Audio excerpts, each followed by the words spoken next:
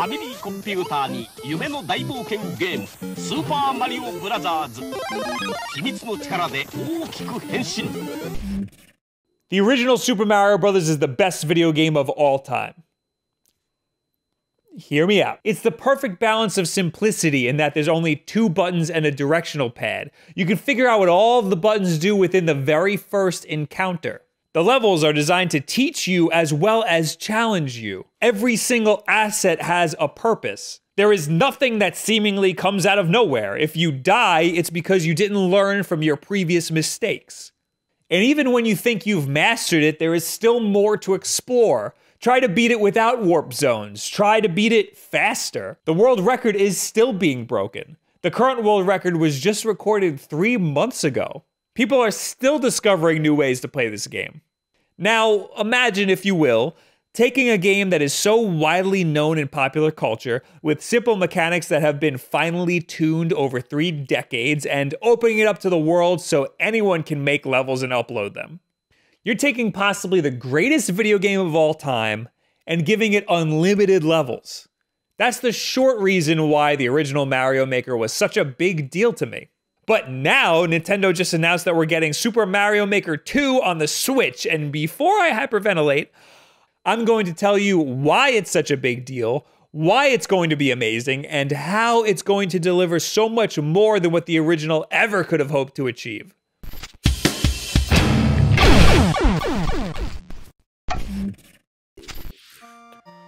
Uh-oh. Oh! Ow! Ow! Yo. There you go. Immediately. Yes! Immediately.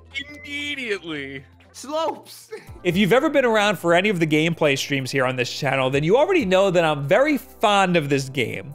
And I also think this is a perfect opportunity to pull AJ out of the streaming sidecar and put him in an actual video for once, because he's been around for every single one of my Mario Maker streams. I have, and I can attest that Bob hasn't died a single time. Not once! Not a one time. Never happened! Nope. When the first Mario Maker was announced, I originally thought that I would have the most fun making levels. Don't get me wrong, making levels is great. It's really fun to make something and see your friends struggle through it, then tweak it around a bit and give them another go at it. But creating things is time consuming, so I spent most of my time with Mario Maker 1 just playing through the millions of levels that other people created.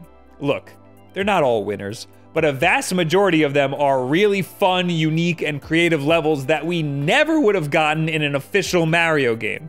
Users found ways to make levels with puzzles, shooter levels, levels with all different types of mechanics, birthed from the seemingly simplistic Mario mechanics. Nintendo did a really good job of gauging the difficulty of each level too. For the most part, if you stay away from Super Expert, you won't get pounded by troll levels or levels that require perfectly timed item jumps to progress. And if one of these levels slips through the algorithm, just skip it, it's not a big deal.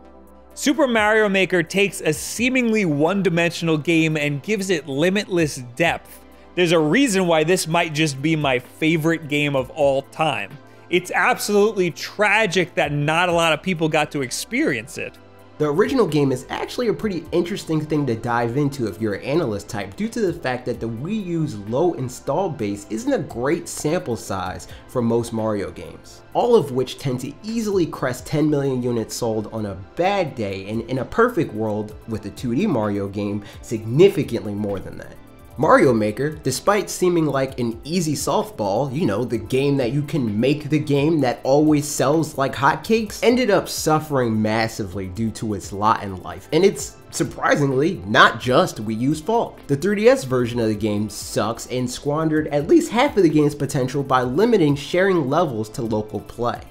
However, Mario Maker 2 is in a much better situation thanks to the Nintendo Switch due to the fact that it has quite a few key advantages over the Wii U and 3DS version. First and foremost, the Switch is on track to have at least tripled the Wii U's install base by the time Mario Maker 2 is released. Second, it doesn't share the 3DS's problem of having severely limited hardware specs. And lastly, it's an entirely new game rather than a port, so people won't feel the leftover scraps feel that I feel was prevalent with the release of the 3DS version. And that's not even acknowledging the real possibility of the original game's cult classic status influencing future purchases of Mario Maker 2. If I had to guess, I would say that Mario Maker 2 is going to hit that 10 million mark within its first 12 months. When we zoom out into the long term, I think it's a real possibility that this game will significantly exceed that especially when you consider the fact that 2D Mario games tend to be able to sell astronomical numbers, 30 million units type numbers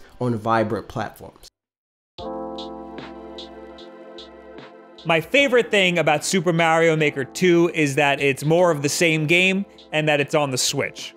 I would have been more than happy with just a direct port of the same game, to be completely honest with you. Just to have it on Nintendo's newest console, to have a more active community would be great. Now that it's coming to the Switch, more people will have the opportunity to play this game and create more levels. The more people involved in the creator community, the more innovation we'll see in level creations. Obviously, getting a whole sequel is also very nice. We're getting a whole ton of new level assets, like the Angry Sun from Mario 3. I think my favorite addition and what will change the game dramatically are the on-off switches. Mario Maker level creators currently use coins and P-blocks to block off certain paths.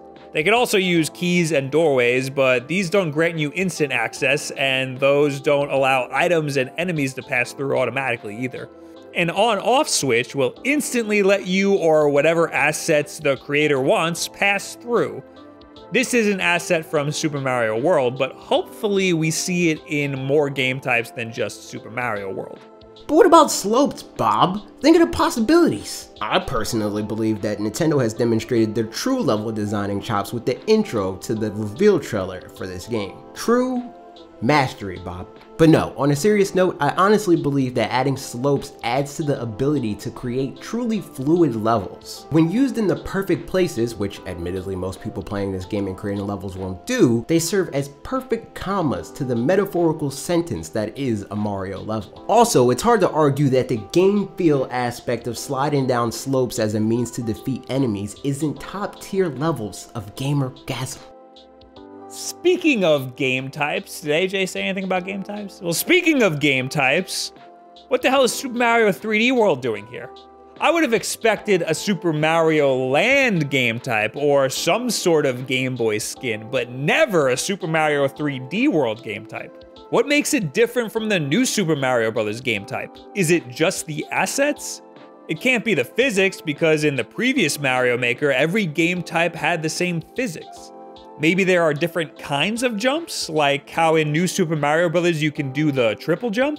Maybe the 3D World game type will include the backward somersault. I think they more than likely made 3D World its own game type just so they had more room for all of its unique assets, like the clear warp pipes, the bell tree, the cat suit, etc.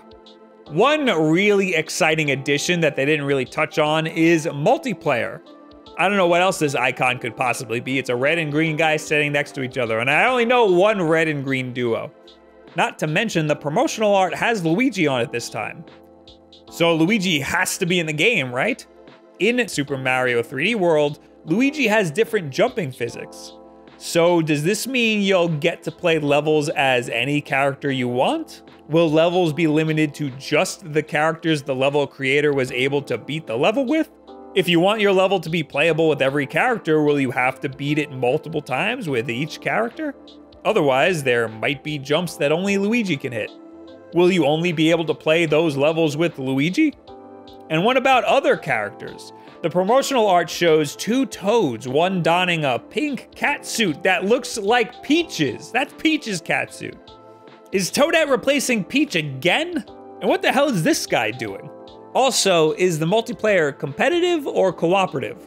I'd love to see the on-off switches work similarly to the colored blocks in the versus mode of Super Mario Deluxe for the Game Boy Color. Also, does this mean we'll be able to pick new objectives that are more nuanced than just reach the end of the level? Is that what these options mean? Could a level be completed by just collecting a certain amount of coins? Could it be an optional objective? There are so many possibilities with this new edition of this game. Every seemingly small addition is potentially hundreds and thousands of new level ideas. Have I succeeded in getting you excited about this game yet? Look, some people's favorite game of all time is Ocarina of Time, which, okay, yeah, whatever. But imagine a game where you're able to play an unlimited amount of dungeons within that world. If you're a Zelda fan, doesn't that excite you just a little bit? Now, can you relate to my excitement?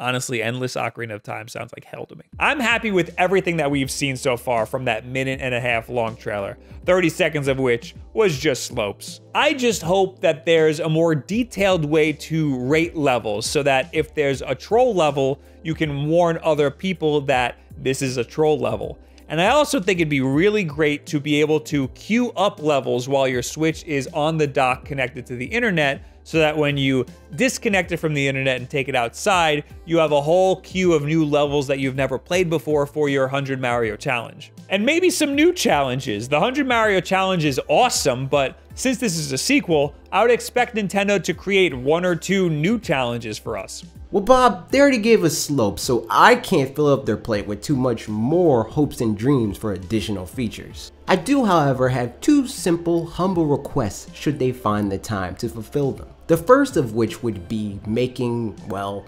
making levels more gamified. Players already get the 100 Mario challenge, so I think it would be smart to add some sort of challenge for creators as well. It could even be formatted in a way that loosely tutorializes the process of making a level. Teach the makers that would be playing this mode sound game designing principles to make actually good levels. The second thing I would like to see in this game is some sort of online multiplayer. I want to play this game with Bob. Don't keep us apart, Nintendo. Make the right decision. I didn't even consider that the multiplayer might not be online. Oh my god. June is way sooner than I ever would have expected a game like this to come out. That's just five months from announcement to release. I'm super happy that it's finally coming to the Switch. I'm super happy that it's more than just a sequel. I'm super happy that it's multiplayer, so now I can finally be better than AJ at something on stream. And I'm super happy that I can take the game with me wherever I want to practice my item jumps and spend time building the perfect levels without the garbage 3DS port. And if they can screw that up, then there's plenty of time for them to screw up Super Mario Maker 2 for the Switch, but I remain optimistic. It's going to be great. I'm sure it's going to require Nintendo Switch Online if you want to be able to play other people's levels, so if you need a reason to hate it, then you can use that, I guess. But I'm sure it'll also come with a bunch of levels preloaded onto it, just like the Wii U version and 3DS versions did. Anyway, what do you guys think about Super Mario Maker 2? Are you as excited about that announcement as I was? I was very excited. I don't think I've been this excited about a video game announcement ever. Ever. I've never been this excited. Anyway, what else do you want to see in a Super Mario Maker 2? Is there anything in the trailer that you caught with your eyeballs that excites you? Leave it in the comments below. At me on Twitter.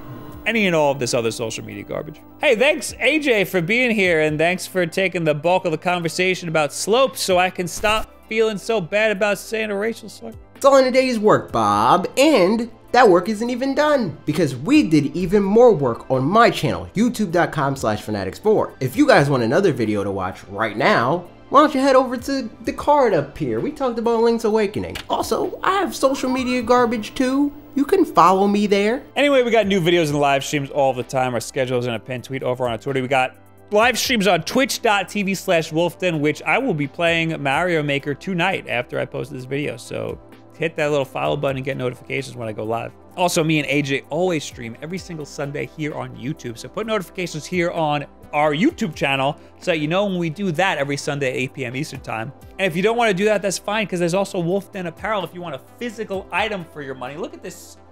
How could you how could you not here with this going on over here, okay? But you can keep your money because the most important thing that you could do for us is just subscribe. It's free, it's easy. And share this video with a friend, a friend that you would love to play Mario Maker 2 with, someone you want to make levels for to rage them out, or someone you just want to play levels with. Thank you guys very much. You have yourself a very